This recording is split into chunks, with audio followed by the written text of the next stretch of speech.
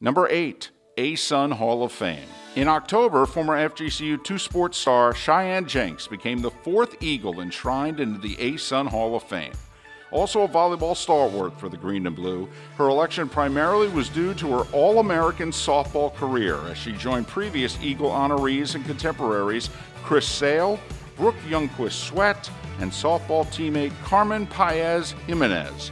Cheyenne is the program's all time leader in games played, games started, at bats, runs scored, hits, home runs, RBIs, and total bases. She is also the only Eagle to hit at least 300 in all four years and saved her best year for last in 2009.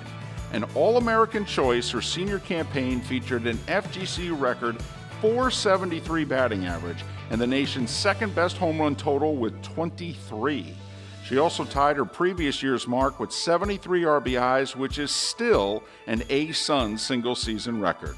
Ranked as high as 18th in the nation, FGCU finished 47 9 in 2009 as Cheyenne was named a USA Softball Player of the Year finalist and the ASUN Player of the Year.